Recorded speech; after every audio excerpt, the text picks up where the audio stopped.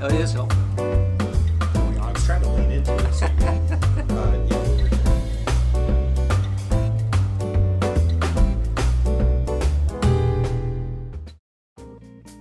April 15th is fast approaching, and everyone's thinking about, you know, January to April 15th as being tax time.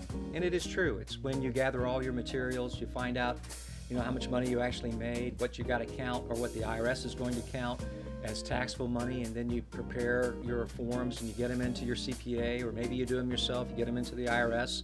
And as a result of that, you either write a check or you get a check back.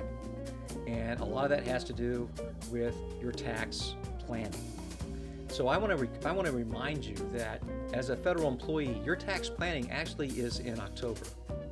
Your tax planning is when we have open season for health insurance, when we have it there for your flexible spending account. That is really a lot of your tax planning, the best tax planning that you can do. Remember that your health insurance premium is actually pre-tax when you're employed. That's a really important thing to remember. Also, think about the fact that if you use a flexible spending account appropriately, and assuming you don't have a lot of prescriptions, a lot of out of pocket costs already, you can still go through the flexible spending account um, eligible expense area and find things that you could actually save money on from a tax perspective as you use them, things you're probably already doing.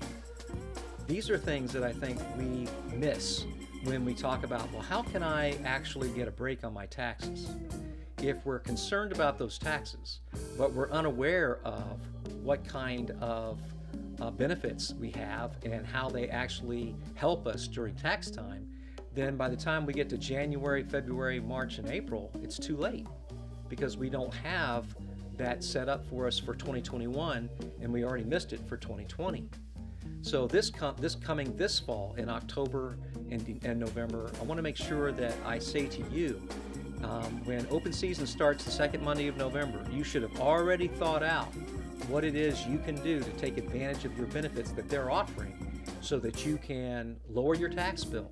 You might say, you know, that's only $300 or that's only $500 or whatever it is. Every little bit helps.